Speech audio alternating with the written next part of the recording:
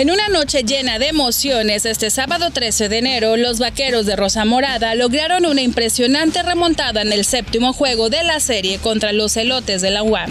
Con un marcador final de siete carreras a dos, los vaqueros aseguraron su boleto a las semifinales, dejando a los aficionados muy atentos y celebrando la hazaña.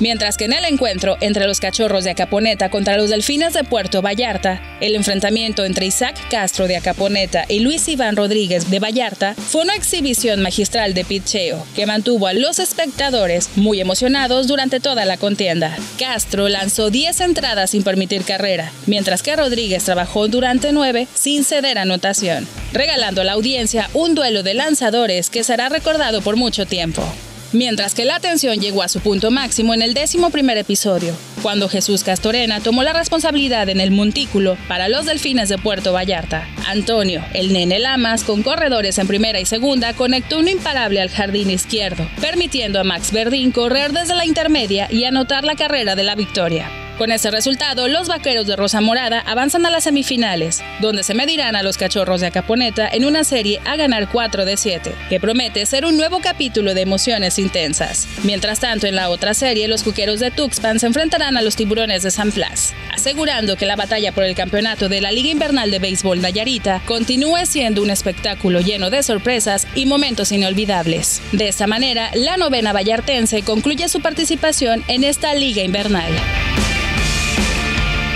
Para CPS Noticias, Fernanda Bujorques.